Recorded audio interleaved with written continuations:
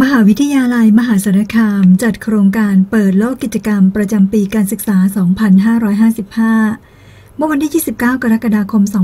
2555 ณ ลานวัฒนธรรม มหาวิทยาลัยมหาสารคาม โดยองค์การนิสิต ร่วมกับกองกิจการนิสิตมหาวิทยาลัยมหาสารคาม ได้จัดโครงการเปิดโลกกิจกรรม ประจำปีการศึกษา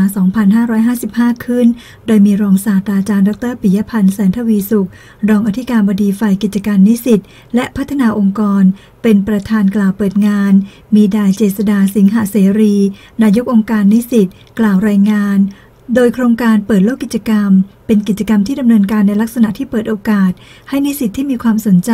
ในการทำกิจกรรม ได้ร่วมเป็นสมาชิกในองค์กรต่างๆ โดยมีการจัดแสดงนิทรรศการ ของชมรมต่างๆ กว่า 60 ชมรม เพื่อเปิดโอกาสให้นิสิตใหม่ หรือนิสิตที่สนใจ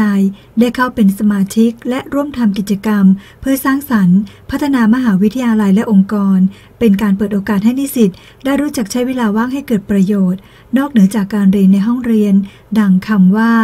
ปริญญาชีวิต คือทานสคริปต์กิจกรรม